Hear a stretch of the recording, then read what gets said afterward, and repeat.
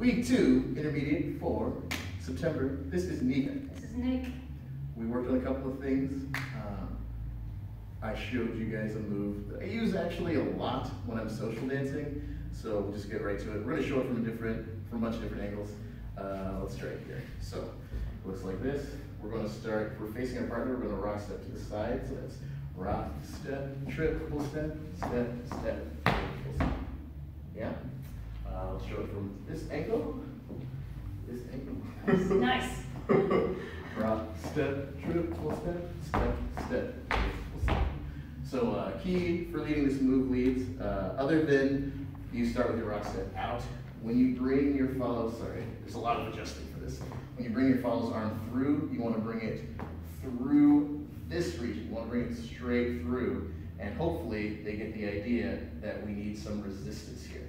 Okay? Yeah. So that's going to be rock, step, straight through, and then the turn, triple step. Now for me, I'm attempting, sorry, I know we're getting really close here.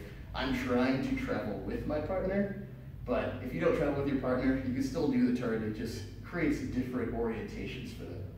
Um, did you have anything to say or should follows, we talked mostly about your frame and how when you come through here, you want your hand and your arm to be in alignment as opposed to like this.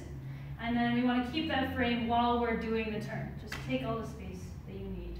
That's good. Um, let's show it from this angle here. So that is rock, step, triple step, step, step, triple step. And then from this angle, rock, step, triple step, step, step, triple step. Yeah, yeah. It's good. And then we did a little variation for the follows on a swing out. Rock, step, triple step, step, hop, do, do, do, do, triple step, step, hop, shake, shake, rock, step. Yeah. Good. Or twist, twist, whatever you want. You want to show from this angle? Yeah, sure. Okay. Rock, step, triple step, step, hop, do, do, rock, step, triple step, step, hop, do, do, hop, whatever you like. Good. That's good. So uh, for that move, leads, we're encouraging you to lead forward-facing swing outs for that. Uh, if you're holding on to your partner too long there, that's going to really reduce the aesthetic Yes. them jumping out on Yes, that. and follows, I only do that one when I know that there's freedom to jump free um, in a forward facing swing out, usually. That's good. All right. See you later.